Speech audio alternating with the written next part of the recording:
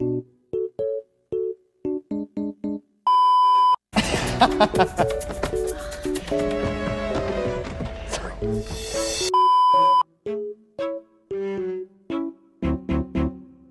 hungry?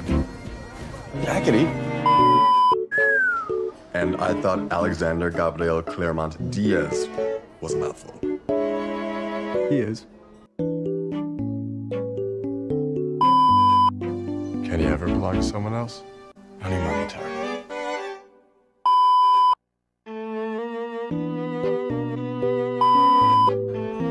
We need to get up to my room right now.